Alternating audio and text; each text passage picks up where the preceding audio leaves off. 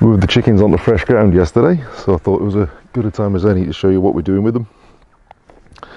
This is where they were. You can see it's pretty thick straw mulch. So look, you can see that's what about six inches, and there's nothing left. That's down to soil. Um, so they're taking out all the insects, all the grass, all the buttercup. Uh, they've left this behind. It's good for planting into now. We're going to put potatoes in here in rows. That's going to happen today or tomorrow they're doing the next plot now again um, with the mulch down. And we've got enough mulch to do another two which will take them the next one there and then the next one over. Uh, and there'll be six of them eventually they'll go around in a rotation preparing uh, veg beds for us to come behind and plant. But in the longer term behind that now right orientation. So that way's north the croft is basically a diamond pointed south and that's directly behind me.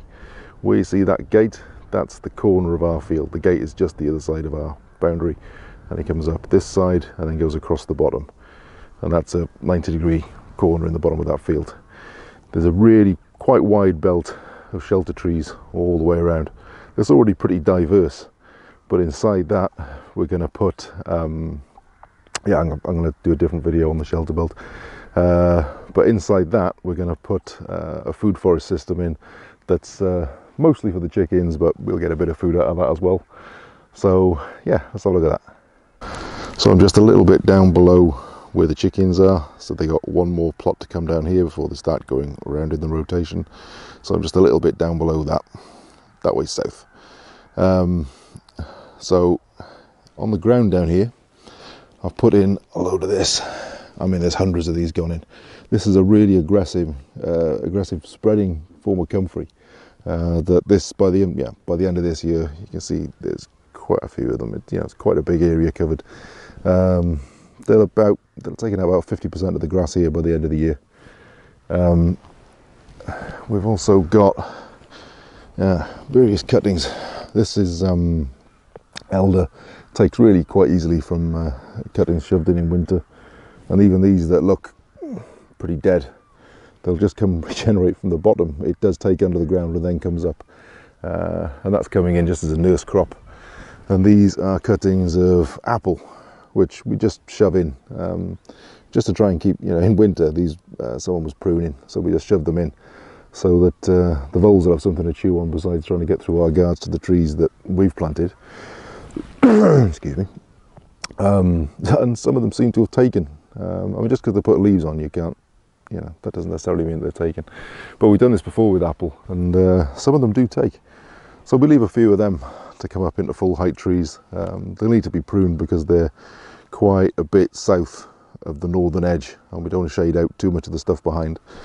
Um, one thing that's done really well, we put in some fruit trees, and uh, this is a morello on a dwarfing rootstock. Here you go, you can see there's the fence line. So we're down reasonably close to that now.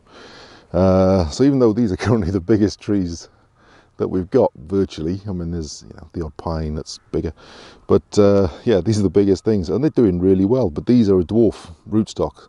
So they'll only come up to a couple of meters and then they'll stop and these will eventually become an understory as everything else around it comes up bigger because obviously these are the northern edges so it's where the biggest trees go so we're going to have um, chestnut.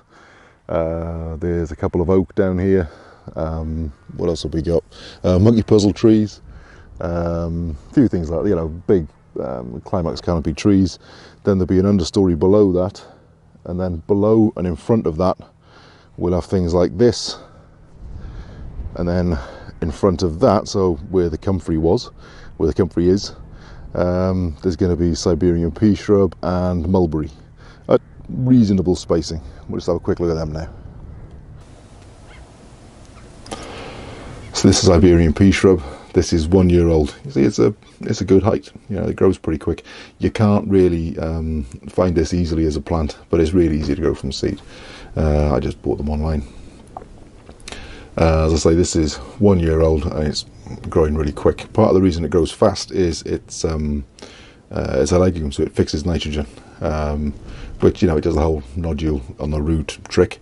but uh, and opinions vary as to how much of that it makes available to other plants. It doesn't really matter. The leaves are loaded with nitrogen, and they drop at the end of the year. It feeds the system anyway. It doesn't matter.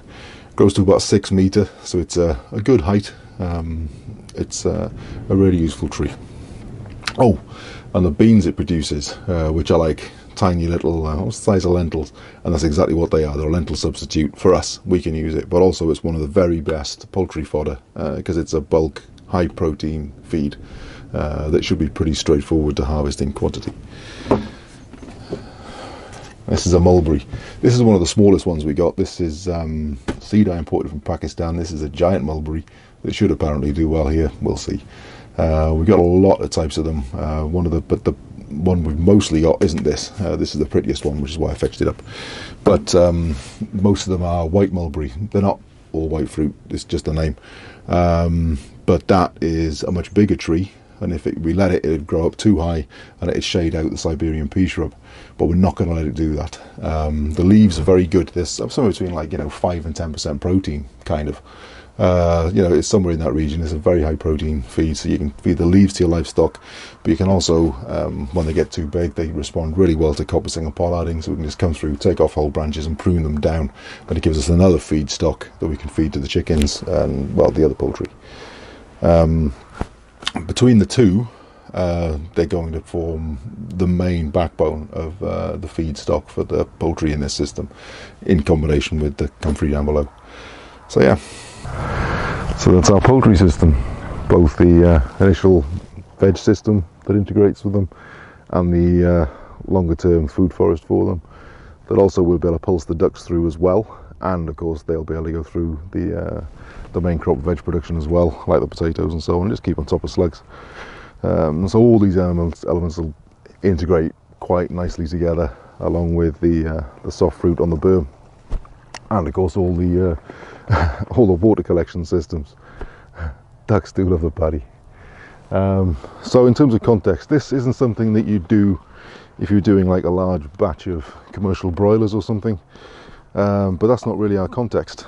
Um, I need to put this is the, the north edge. The north winds are quite cold in winter, of course, so I'd need to put shelter belt in here anyway. So with just a little bit of design, um, we're able to integrate chickens into it. Um, and once it's mature and we're getting, you know, the fruits, the nuts, uh, the legumes from the Siberian pea shrub and so on, uh, it'll be interesting to see just how much feed we can keep on minimal labour um, so that on say half a day's work we could uh,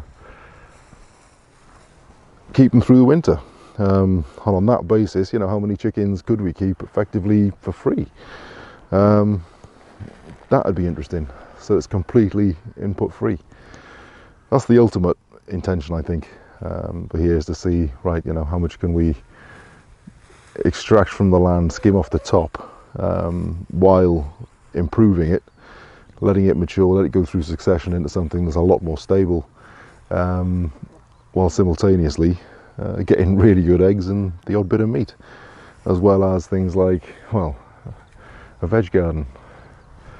So yeah, that's our chicken system.